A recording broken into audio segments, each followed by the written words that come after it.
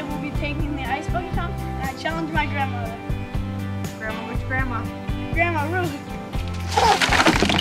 Oh God!